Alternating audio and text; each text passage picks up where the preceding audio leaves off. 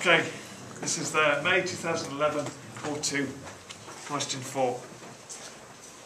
The diagram shows the curve. Oh, it's written in terms of uh, y, y equals a function of x, but we've got an area against the y-axis. Hmm. Uh, the diagram shows the curve y equals minus 1 plus the square root of x plus 4 and the line y equals 3. Show that this equation can be rearranged as this.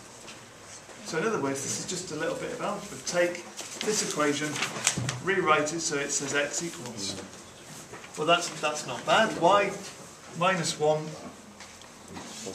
y equals minus 1 plus the square root of x plus 4. So if we rearrange that, that's y plus 1 is the square root of x plus 4. We could square both sides now, and that would get rid of the square root sign. y plus 1 squared is x plus 4. So, so actually, x is y plus 1 squared minus 4. Well, that's not quite what we are after, so let's see if we can multiply that out. x equals y squared plus 2y plus 1 minus 4 and now I think we've got it. There we go, that's quite a nice two marks, isn't it? It doesn't really feel like it's core two maths.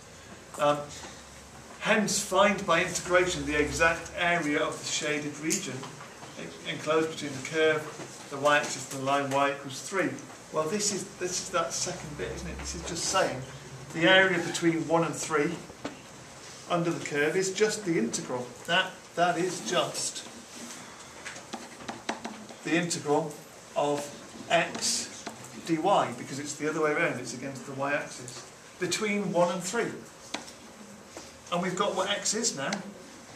So all it wants us to do for part B, part 2, is uh, the area is the integral between 1 and 3 of y squared plus 2y minus 3 dy.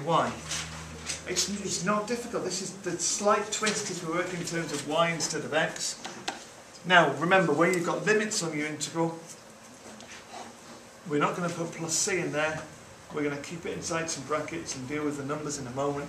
y squared is going to go to y cubed over 3. 2y, that's 2y squared over 2. So the 2's will cancel out, that's y squared.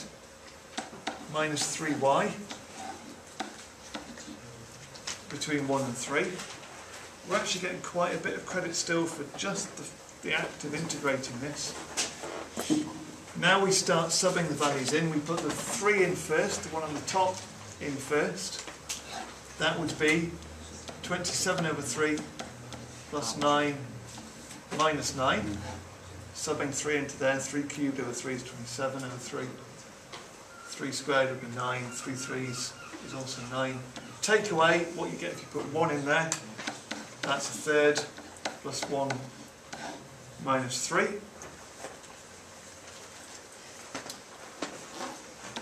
And uh, what have we got? We've got 27, we've got a 0 in there as well. Um, minus a third, so that's 26 over 3. I don't know why I just didn't turn it into a 9, sorry. Um, and then we, we, in fact, let's do that again. what have we got? We've got 9 out of that bracket. That's better. Um, here we've got uh, 1 minus 2, so that's minus 2, and a, a third in there, so that is minus 5 thirds.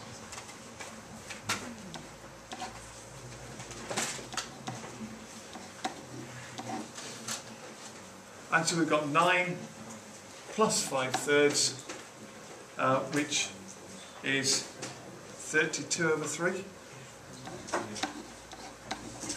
Or 10 and 2 thirds. Um, square units. You have to write that in the exam. I, I think we should acknowledge that it's an area rather than just a length that we fill. And there we go.